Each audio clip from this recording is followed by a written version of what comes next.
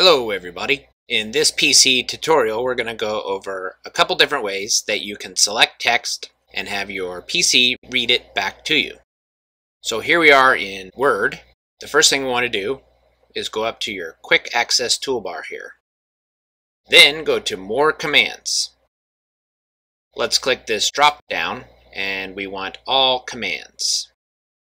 Next we want to go all the way down to Speak right here. Okay, let's select it and click Add. Now we can hit OK, and you can see that it's been added up here in the Quick Access toolbar. So here we have some text from the Wikipedia article on Mars. If we select it, and we go up here, then we can click this icon, Speak Selected Text.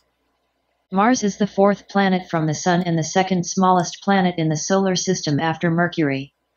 In English, Mars carries a name of the Roman god of war, and is often referred to. Now, to stop, we just click the button again.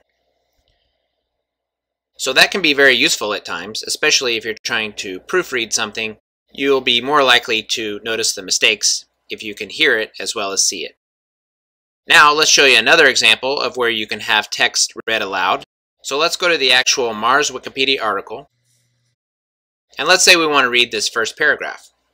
All you have to do is select it and right click and then go to read aloud. Mars is the fourth planet from the Sun and the second smallest planet in the solar system after Mercury. Now, you'll notice a little toolbar pops up here, which will allow you to go back, pause and play, go forward, and then here, if you want to change the speed or change the voice, you can do that as well.